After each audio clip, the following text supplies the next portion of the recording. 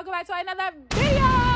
As you can tell from the title down below, today I'm on gym two of this on my search to find a gym home tour, period. And um, yeah, before you get into this video, make sure you go ahead and like, comment, and subscribe to your girl's channel. Also, make sure you hit that notification bell and share this video with everybody you know. Peace out.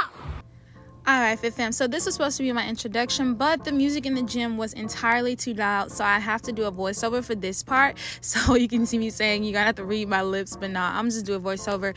Basically, I'm finna give you guys a tour through Hellhound Gym. Um, this is Gym 2 on our search for a gym home series. I'm giving you a little view of the outfit, and yeah, let's get into it. Peace out. Okay, 3BL fam. So I did not give an introduction like a to this gym. So gym two, this gym is called Hellhound Gym. Right now I'm giving you guys a tour through what this gym looks like. It is another warehouse style gym. Um, I found out about this gym through a friend of mine. You can see Zoe right there. Gave him his little cameo. Um, so I found out about this gym through him. I had known about this gym before. For some reason it slipped my mind and it was like later on in the night when I realized oh, I actually do know this gym. Um, but when I got here, I thought I had never heard of it.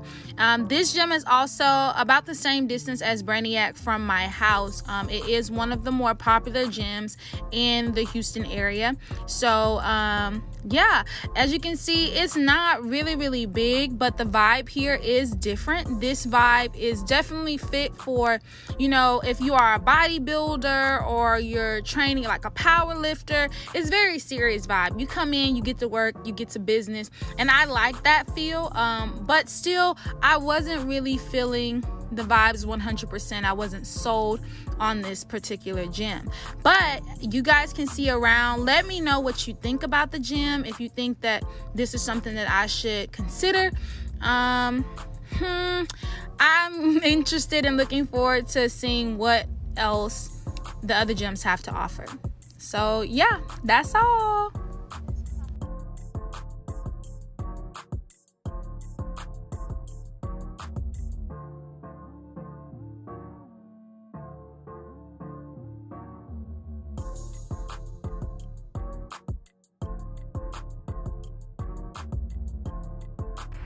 All right y'all so as y'all know i only showed y'all clips of like the equipment and the stuff that they have in the gym because the music is loud and i did not want to get copyrighted so i probably for that one little clip i'm gonna have to do a voiceover for that. But let me know what y'all thought of this gym down below in the comment section. Um, if you like this gym let me know. I'm not 100 percent certain that this is the vibe for me but we'll see all right so we're gonna continue this on our search to find a gym home tour and i'm gonna catch y'all on the next video peace out video, video.